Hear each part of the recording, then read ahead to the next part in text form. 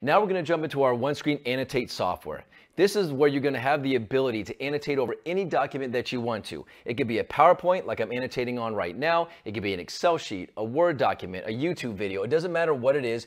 Anything that's on your computer, you then have the ability to annotate on top of.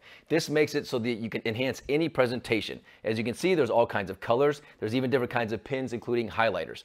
Now I can transition right into a whiteboarding screen. And again, this is a great place to use a whiteboarding application. Now, I can also use this annotation tool. This is just a dummy stylus pen, so there's no batteries, but it gives me a great utensil to use directly on the screen.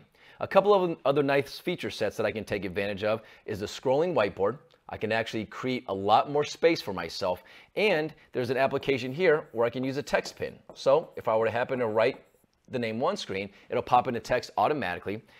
There's an intelligent pin, so if I want to do any kind of flow charting or enhancement of presentation, it makes the shapes a nice clean shape. If you happen to make a mistake or it doesn't show up correctly, I can just put an X on it, it erases for you nice and simple, and right back to my square. Everything that you create here, these are all movable items, not to mention you can manipulate their size and their shape. Additionally, you have an area where you can actually do a Google image search. So as an example, if I type in the word one screen, which I did, it's going to come up with any imagery on Google Images that I can now bring in right onto the screen. So just by grabbing and dragging and dropping, I have some phenomenal applications to bring in some additional imagery to bolster my presentation.